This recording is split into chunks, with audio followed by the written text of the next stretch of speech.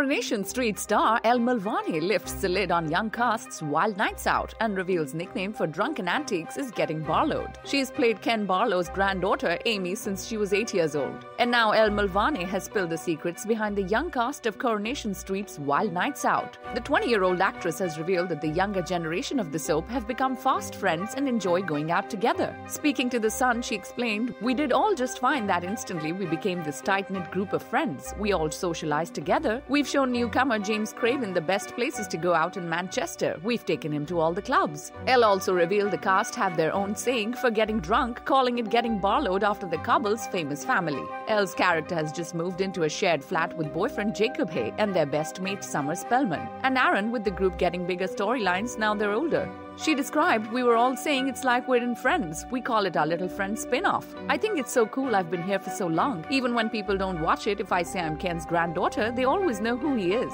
The Barlows are Coronation Street.